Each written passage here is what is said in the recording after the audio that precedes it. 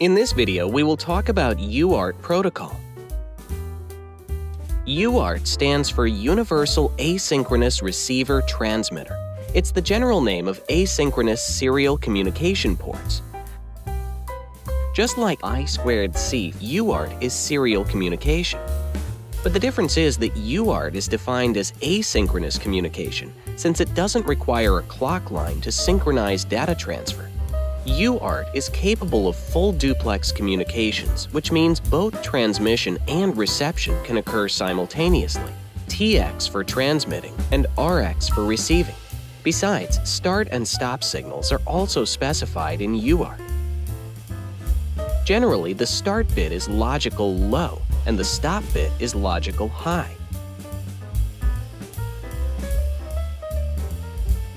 In the DF Robot Gravity series, UART refers to the RX and TX with standard TTL levels. Simply put, the voltage signal of 3.3 volts to 5 volts will be read as logical 1 and 0 volts as logical 0. With the baud rate, data bit, check bit, and stop bit pre-configured, signals can be transmitted over a single wire. So how is UART implemented? Well, we often select a baud rate of 9600, which means that the serial port can transfer 9600 bits per second. And correspondingly, each bit sent through UART should be held for 104 microseconds.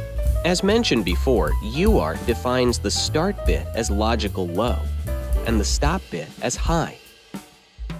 So when the receiver receives a start bit, it gets ready to receive the upcoming data and sample data bit every 104 microseconds. Then, when 8 bits of data are received, also a high level will be delivered to the receiver to signal the end of a data packet. Meanwhile, this is the time for the PC to correct clock synchronization. Now, let's see how to use UART. Connect the Gravity 4-pin connectors to the corresponding UART ports of the MCU. Typically, RX is connected to TX. But for some Arduino devices, RX should go to RX and TX goes to TX. So when the communication fails, you can swap the connection and see if it works. Thanks to the open source community, we can directly use relevant libraries in our projects without getting into the details of how UART is implemented. Let's read some data by UART. DF Robot has a multifunction environmental sensor that uses UART just right for our project. Now, put the device on our terrace. And the UART communication distance is not long enough for getting there. Well, this new UART fiber optic transceiver module comes in handy. Add it to the project. Then let's see the environmental parameters, especially the temperature curve.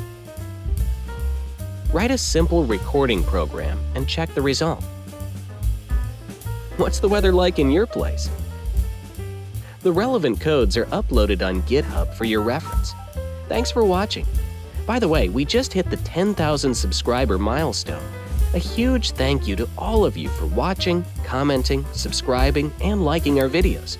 We're going to keep creating valuable content on this channel. Don't forget to forward our videos to your friends if you think they're helpful.